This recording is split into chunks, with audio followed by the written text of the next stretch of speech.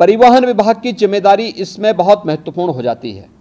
आपने भी गाजियाबाद की दुखद घटना देखी होगी, जिसमें स्कूली बस से एक बच्चे का सिर बाहर होने के बाद 11 वर्ष के उस बच्चे की दुखद मृत्यु होती है। दुखद मृत्यु के बाद जब बस का फिटनेस के कागज़ मांगेगा तो उसकी फिटनेस ही नहीं थी। ये परिवहन विभाग की पहले प्राथमिक ज़िम्मेदारी थी कि हर एक बसेज का स्कूल, कॉलेजेस खुलने के पहले हम सुनिश्चित करें कि उनके पास अपने वाहनों की फिटनेस सुनिश्चित हो। लापरवाही हुई, उसमें जवाबदेही भी तय की गई। परिवहन विभाग को इस बात को सुनिश्चित करना होगा कि सभी प्रकार के बसेज का, ये स्कूली बसेज हों, प्राइवेट में कॉन्टैक्ट कैरेज में चलने वाली बसेज हों, या फिर परिवहन विभाग के साथ संबद्ध बसेज हों या फिर उत्तर प्रदेश परिवहन निगम के द्वारा संचालित वाहन हो, या ट्रक हो फोर व्हीलर हो टू व्हीलर हो, इनको नियमित रूप से इनकी चेकिंग करना और ट्रैफ़िक के नियमों का पालन करवाने की व्यवस्था इनसे सुनिश्चित करना। यह परिवहन विभाग सुनिश्चित करें, उनकी जो फ़ील्ड में तैनात जो भी उनके अधिकारीगण हैं, वे इसको सुनिश्चित करवाएँ।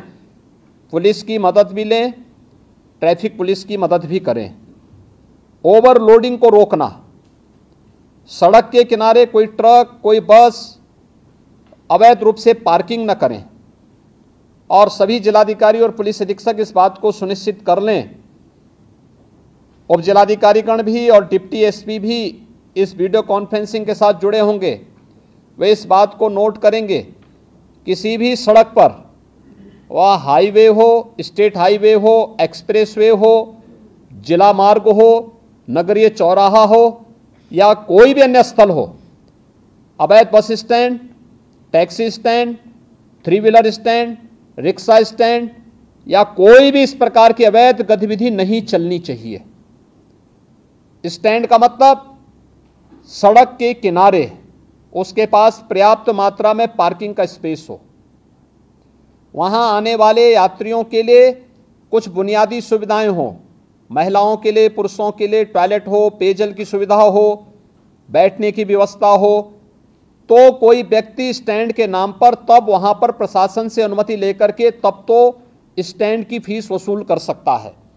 लेकिन अगर सड़क पर कोई करता है तो उस पर अवैध रूप से संचालित इस प्रकार के सभी वो अगले 24 घंटे के अंदर बंद होने चाहिए। बंद होने के साथ ही हमें सुनिश्चित करें कि अगर कोई व्यक्ति इस तरीके के उसको करने का अभ्यस्त है तो उसमें एफआईआर लॉन्च करके, गैंगस्टर के अंदर एफआईआर लॉन्च करके, उसमें फिर हमें उसकी पूरी संपत्ति को जब्त करना चाहिए। उसने इस प्रकार के अवैध वसूली से जो पैसा कमाया है, वह राजकोष में वो पैसा आना चाहिए।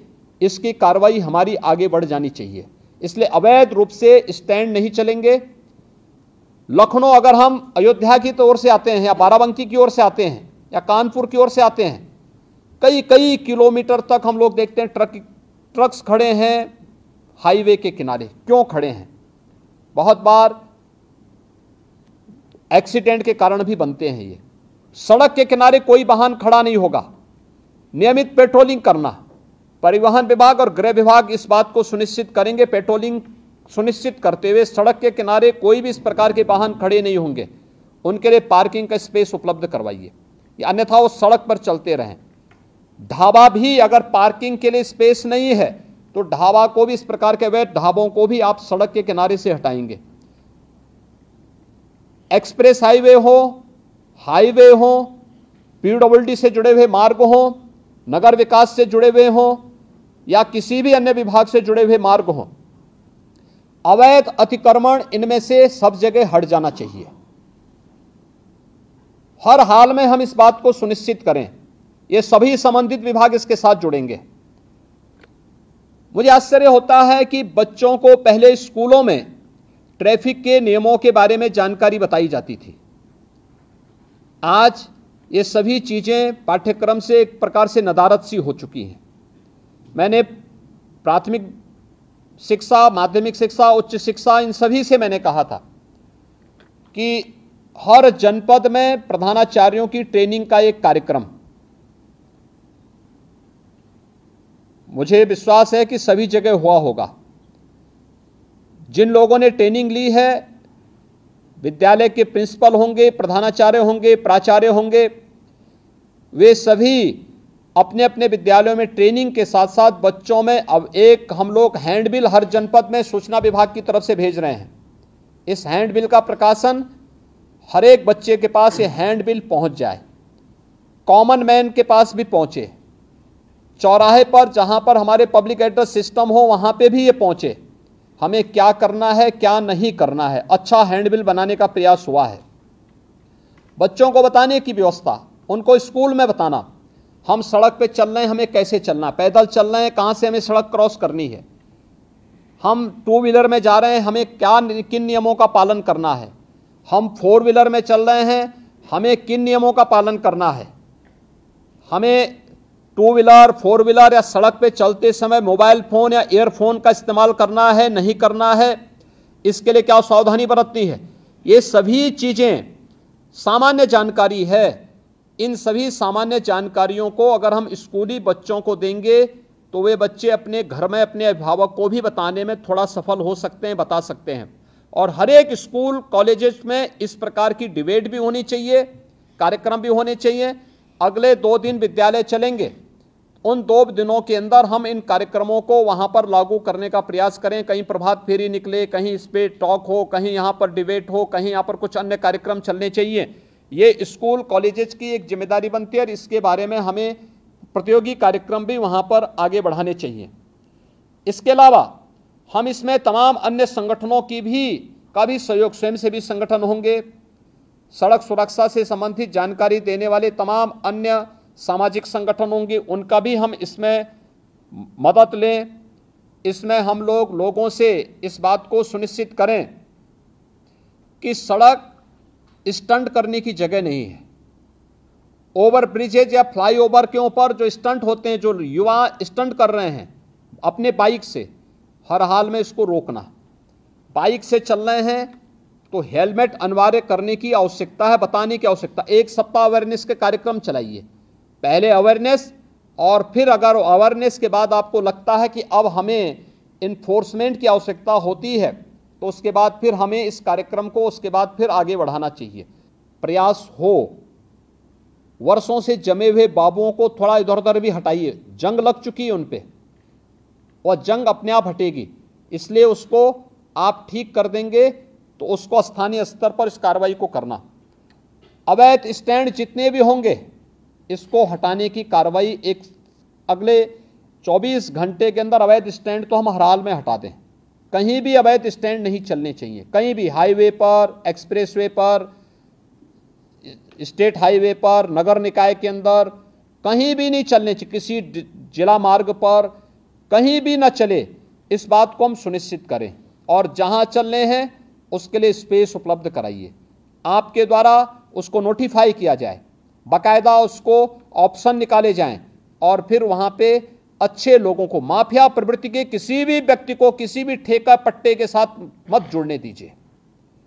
एक भी माफिया जुड़ेगा, उसका पूरा गैंग फिर वहाँ पर अनैतिक और अवैध गतिविधियों का अड्डा बना देगा। हर एक माफिया की कमर तोड़ डालिए। कोई भी अवैध और अनैतिक गतिविधि उसको मत संचालित करने दीजिए। उसकी आर्थिक स्थिति अगर मज़बूत होगी तो आपका जीना हराम कर देगा। उसकी आर्थिक गतिविधि को पूरी तरह ब्लॉक कर देना। और ये जितने भी अवैध स्टैंड चल रहे हैं डग्गा मार बसें चल रही हैं ओवर लोडिंग के कार्य चला इसमें माफिया ग्रुप अभी भी हावी है। इसको रोकना, हर एक हाल में रोकना। मंत्री समूह जून प्रथम सप्ताह में हर जनपद में जाएगा फिर से। मैं भी हर जनपद में जाऊँगा। मेरे पास भी अनेक, हर जनपद की रिपोर्ट प्रतिदिन आती है। उस समय मेरे पास किसी भी जनपद से कोई नकारात्मक रिपोर्ट नहीं दिखनी चाहिए। और इस बात को सुनिश्चित करना है। दूसरा, नगरीय क्षेत्रों में निराश्रित गोवंश या आवारा कुत्तों को संरक्षित करके सड़क से बाहर करना। यह नगर निकाय की प्राथमिक जिम्मेदारियों में आती है। नगर निकायों ने अपनी ज़िम्मेदारी नहीं समझी है। और इसको समझना होगा। सड़कों पर गोवंश न रहे। इसके लिए कहना ओपन की व्यवस्था करना हो, पीपीपी मोड पर कोई कार्यक्रम चलाना हो, जितने भी आवारा कुत्ते हैं, सड़कों पर घूमते हैं, अन्य उसके बारे में व्यवस्था देना, हम ये भी सुनिश्चित करें कि तमाम लोग घर में भी अपना पालतू कुत्ता रखते हैं। हम सुनिश्चित करें कि वे सफ़ाई, साफ़ सफ़ाई की व्यवस्था करके रखें और उन्हें सड़कों पर टहलाने के लिए ले जाकर के सड़कों पर गंदगी न पैदा करवाएँ। और आवश्यकता पड़ती तो उनका रजिस्ट्रेशन सुनिश्चित कराएँ। उनके द्वारा उन पर निश्चित एक समय सीमा के अंदर उन्होंने उन्हें वैक्सीनेट किया है कि नहीं किया यह भी सुनिश्चित करवाना। ये सभी चीज़ें हमें इसके साथ जोड़नी पड़ेगी।